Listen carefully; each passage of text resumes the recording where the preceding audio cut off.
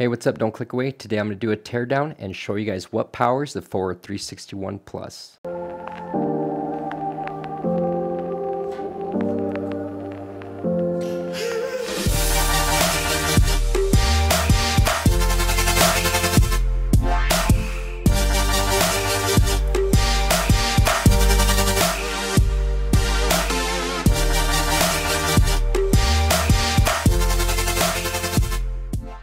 I'm Javi Guzman with MrPhoneDoctor.com and thank you all for tuning in and checking out this episode. If you guys need any kind of device repair, please visit us at www.mrphonedoctor.com. And while you're there, please make sure to check out our social media platforms found below. So I've been getting a lot of requests from you all regarding how long it takes to heat up, how loud is the machine, does it have dual pump, single pump, etc. So today in this video, I'm gonna go ahead and do a detailed teardown and show you guys what powers the Forward 361 Plus. I'm gonna go over in detail, cover how loud in decibels the pumps are, and of course how long it takes for this machine to get up to temperature. So without further ado, let's go ahead and begin disassembling the Forward 361 Plus. Alright, so I'm first gonna go ahead and start off by disassembling the machine.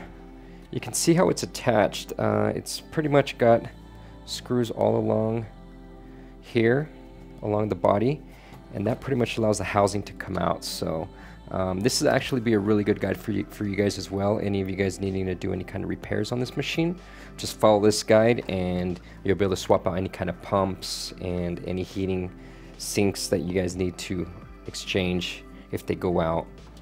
So I'm to start off by removing these And to let you guys know, we have used this machine. We actually used it one time and it worked very great. So I'm excited to put this in full use. And this is a 110 volt machine. For those of you guys wondering. So as you can see, it's very simple to take apart. Do want to hold the base here. We're gonna lift this body up and we're to just lean it over to the side. And here you can see the insides of this machine. I'm to go ahead and uh, disconnect this pump. And since it is a vacuum sucking, it's not blowing air out, it really doesn't need any kind of clamps because it's to just suck and it's to create a vacuum seal. So this is the tube holding the pump and you can see how there's a cool little, you see that little, uh, what is that, filter so this little filter keeps any kind of dirt and debris that may get inside when you're cutting glass or glue, OCA. It prevents any OCA from going into the pumps and blowing them out. So really cool. You can see that this is the dual pumps. You can see your one pump here and your second pump here. And you have your power supply here. This allows everything to get up to temperature. And then here you're gonna have your thermostat controller. This is the thermostat controller right here. And if for some odd reason you do need to replace your plate, everything does come apart right here. For this video, I'm not gonna take anything apart. I don't wanna have to get my hot air gun and melt this glue. You can see how they apply a rubber glue. So I don't wanna get my hair gun and melt all this and put it back in, but it's very, very simple if you do need to swap any parts out. Um, you know, I just wanted to show you guys how easy and cool these are made, you know, really, really simple. So that's it. So very simple. Just follow this guide if you guys do need to swap out any pumps, any heating elements, or any thermostat controllers. Uh, I'm going to go ahead and put this bad boy back together. And we're going to go in depth on detail on, of course, I'm going to cover how long it takes to heat up, how loud it is, and I believe that's the only two major features on that. All right, so there you guys were able to see the internals on the 361 Plus. Next, I'm gonna go ahead and cover, let's do the vacuum pumps because I don't want to heat it up and then end up burning myself. So I'll go over the vacuum pumps so I can show you guys how loud this machine gets. All right, so once again, this is a 110 machine, so make sure you guys uh, plug into the right power. So let's go ahead and turn the machine on.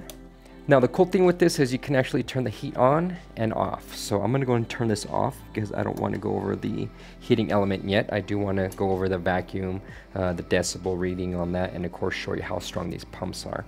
So first, let's go ahead and check and see how loud these uh, the sound is on this machine.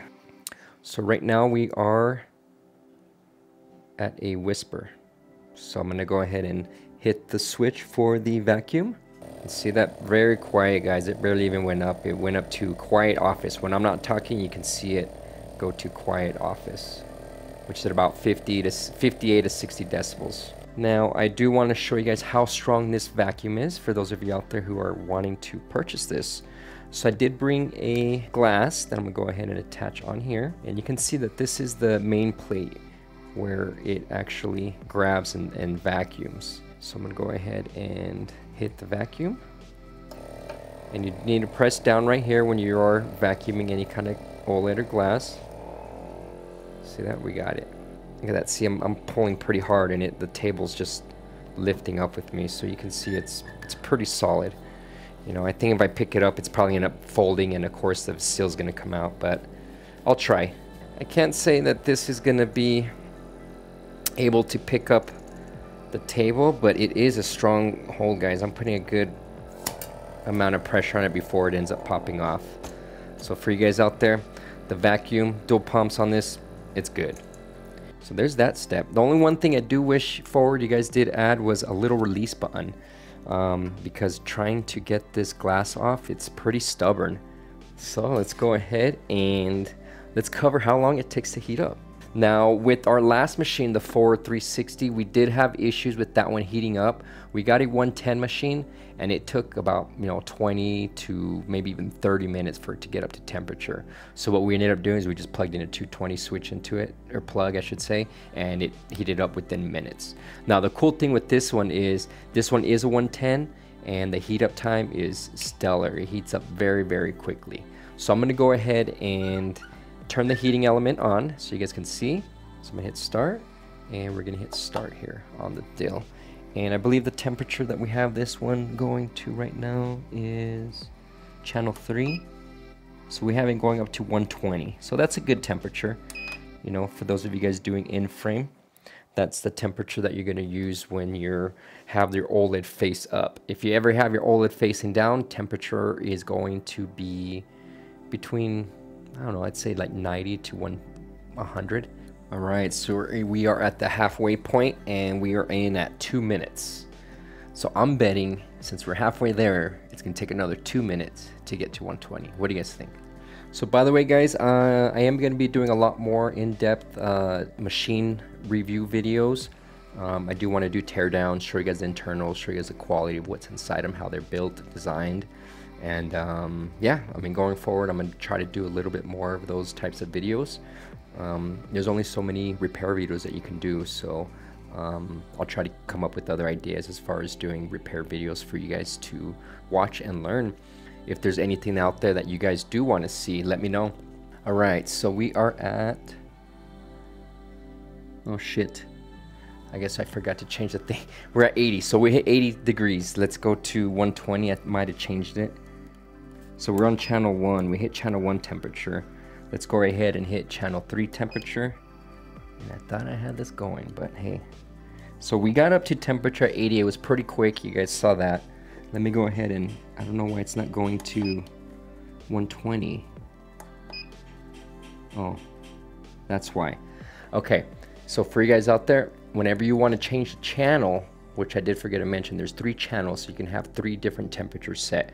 Whenever you want to change the channel, you got to hit the channel number and then you hit the channel again and that sets it. So I was hit, I hit channel three and then I hit enter thinking it was like the older machine where it would set it. But on this newer one, channel channel will set it. So that was my bad.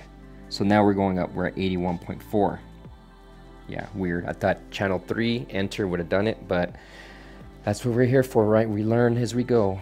So I think we already hit the temperature by now. We're already at six minutes, so um, that was just my error. We probably sat there talking for a little bit and minutes passed. But anyway, uh, let's just see how long it takes to get there. So we're 85, 86, so it's just bumping up pretty quick. To sum it all up, guys, this machine's great. It heats up fast, it's got dual pumps, and it's pretty quiet. So if you guys do want to purchase one, Uh, I'll leave purchase links down below. You guys could go to Forward's website and purchase it. I'll see maybe we'll look into carrying these in, but um, I know with shipping costs and things like that right now, everything's just so expensive. You're paying, you know, double the cost right now. Um, but either way, I'll leave links. Thanks for subscribing, guys. Uh, make sure you be on the lookout. I'll be making the other video of me doing a Note 20 Ultra teardown, or not teardown, but disassembly from the frame and the OLEDs. So uh, subscribe. See you guys in the next one. Cheers.